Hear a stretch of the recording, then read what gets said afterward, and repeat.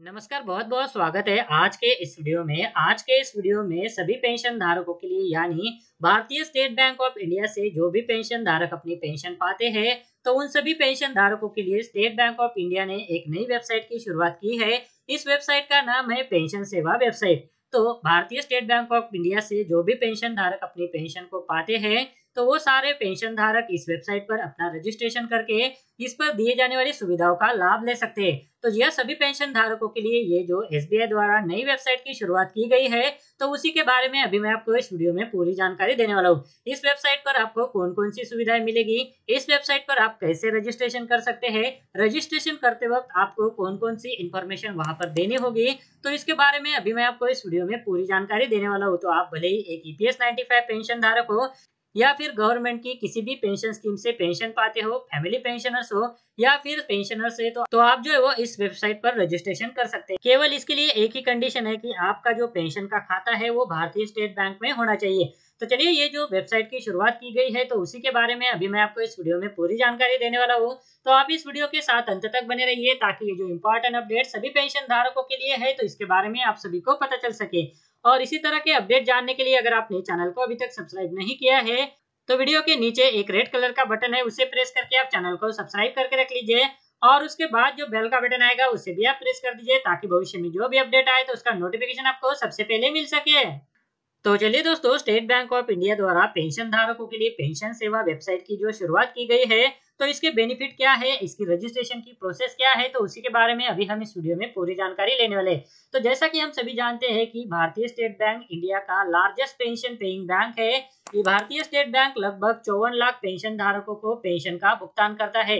SBI ने central government agency जिसमें defence railway postal telecom और इनसे रिटायर्ड होने वाले कर्मचारियों का पेंशन का भुगतान Bharatiya State Bank of India की ब्रांचेस से होता है। तो पेंशन धारकों की सुविधा के लिए एसबीआई द्वारा ये जो पेंशन वेबसाइट की शुरुआत की गई है तो उसी के बारे में अभी मैं आपको इस वीडियो में पूरी जानकारी लेने वाले।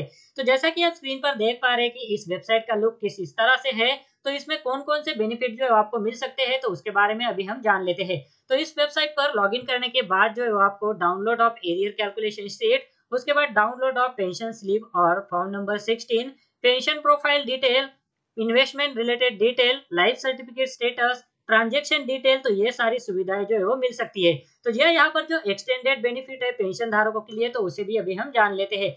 S M S alert on mobile phone with pension payment detail pension slip through email और pension paying branch facility to submit life certificate at any branch of State Bank of India Jeevan Pramaan facility available at branches senior citizen savings scheme ePPO provision for defence railway CPAO और Rajasthan pensioners तो चलिए अभी जान लेते हैं कि इस website पर आपको जो है वो रजिस्ट्रेशन कैसे करना है। तो यहाँ पर जैसा कि आप स्क्रीन पर देख पा रहे हैं कि रजिस्ट्रेशन के लिए आपको यहाँ पर ये जो वेबसाइट है तो उस पर जो रजिस्ट्रेशन का टैब है तो उस पर क्लिक कर लेना है। उसके बाद आपको यहाँ पर कौन कौन सी डिटेल फिल करनी है तो उसे अभी हम जान लेंगे। तो यह यहाँ पर सबसे पहले आपको आपका यूज़र आईडी क्रिएट कर लेना है। उसके बाद आपका जो पेंशन का अकाउंट नंबर है, आपकी डेट ऑफ़ बर्थ है, ब्रांच का कोड, आप जहाँ से पेंशन पाते हैं registered email ID same as submitted to the branch जो भी आपने ब्रांच में आपका ईमेल आईडी सबमिट किया है तो उसे आपको वहाँ पर एंटर करना है। तो जैसा कि आप स्क्रीन पर देख पा रहे हैं कि यहाँ पर आपको यूज़र आईडी सबसे पहले क्रिएट कर लेना है।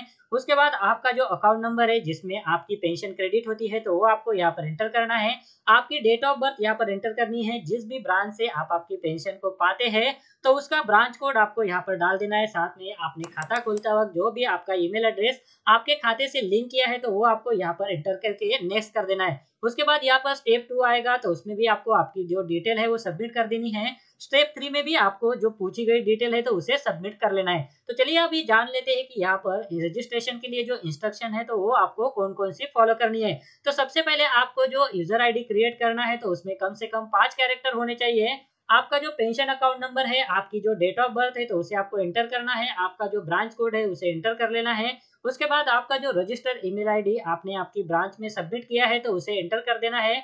उसके बाद आपको जो नया पासवर्ड है तो वो वहाँ पर एंटर करना है। उसके बाद अगली प्रोसेस में जो आपने पासवर्ड डाला है तो उसे आपको वही सेम टू सेम पासवर्ड डाल के कंफर्म कर लेना है। तो यह यहाँ पर password should have minimum length of eight character password should have combination of upper case and lower case alphabet numerical and special character उसके बाद आपको जो रजिस्ट्रेशन प्रोसेस है तो उसमें दो सवालों के जवाब जो है, वो देने हैं। ये दोनों सवालों के जवाब आप ऐसे दीजिए जो आपको याद रहे, क्योंकि अगर आप भविष्य में किसी वजह से आपका पासवर्ड जो है, वो भूल जाते हैं तो इन दोनों सवालों के जवाब आपने जो भी दिए हैं तो वो जवाब आपको वहाँ पर वेरिफिकेशन के लिए पूछे जाएँगे। उसके बाद रजिस्ट्रेशन सक्सेसफुल होने के बाद आपके ईमेल आईडी पर एक ईमेल आ जाएगा। उस ईमेल पर आपको एक लिंक मिलेगा। उस लिंक पर आपको क्लिक करके आपका अकाउंट जो है, आपको एक्टिवेशन कर लेना होगा।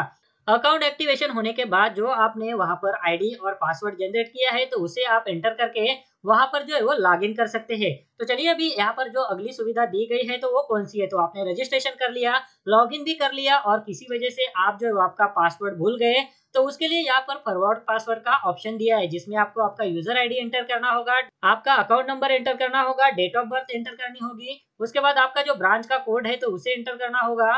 उसके बाद आपका ईमेल आईडी है तो वो आपको वहाँ पर एंटर करके जो प्रोसेस है तो उसे फॉलो करनी होगी। उसके बाद आप जो आपका पासवर्ड जो है, वो रिसेट कर सकेंगे। तो जी हाँ दोस्तों, यहाँ पर जो भी पेंशन धारक एसबीआई से अपनी पेंशन पाते हैं तो उनके लिए एसबीआई द्वारा ये जो नई सुविधा की शुरुआत की गई थी तो उसी के बारे में अभी मैंने आपको इस वीडियो में जानकारी दी।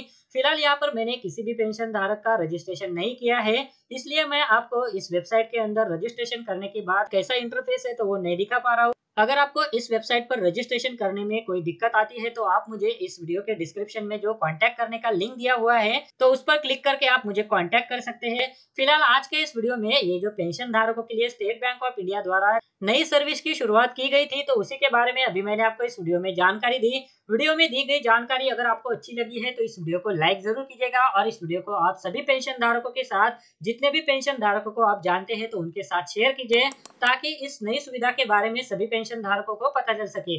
और ये जो नई सुविधा एसबीआई द्वारा पेंशन धारकों के लिए शुरू की गई है तो इसका लाभ जो है वो सभी पेंशन धारक ले सके। तो जी दोस्तों, आप जैसा कि जानते हैं कि पेंशन धारकों से रिलेटेड कर्मचारियों से रिलेटेड जो भी अपडेट आता है तो वह उसे आपके लिए मेरे वीडियो के माध्यम से लेते आता हूँ। इसके लिए अगर आपने चैनल को अभी तक सब्सक्राइब नहीं किया है तो चैनल को सब्सक्राइब करके रख लीजिए, ताकि भविष्य में आपसे जुड़ा हुआ जो भी अपडेट आए तो उसका नोटिफिकेशन आपको सबसे पहले मिल सके।